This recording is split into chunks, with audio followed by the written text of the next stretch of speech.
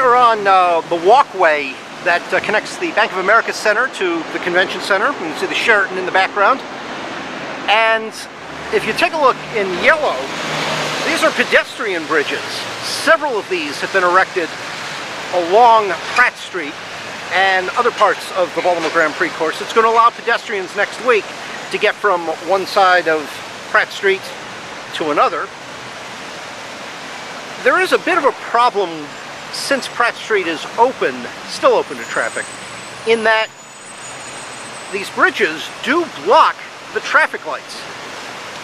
You can't see the traffic lights from the distance. You only see the traffic light once you get up to the intersection.